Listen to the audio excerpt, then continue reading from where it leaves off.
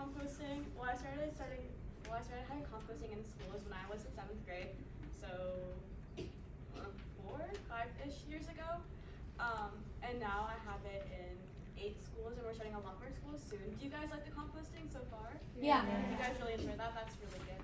Um, so the reason why I started composting is because I personally feel like I, when I was in school, I just threw away food and I didn't really think anything was wrong with it. I feel like a lot of people don't realize anything's wrong with it. And there is actually a really big environmental impact of throwing away your food that's going to sit in landfills or getting burnt in incinerators. And you guys know that now, right? Mm-hmm. Mhm. But at the time when I first started, I feel like a lot of people didn't know that. So I wanted to bring awareness to that. And one of the ways to start doing that is in composting. Because I feel like, did you guys, I feel like in schools, did you think before composting you guys threw away a lot of food? Oh yeah, definitely. Yeah. Most definitely. There's a lot of wasted food in, in school, so I wanted to try to fight that.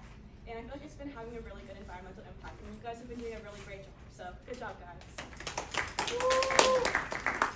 So, um, You want to come up here, um, uh, so, so one of the things, now, were you all involved in writing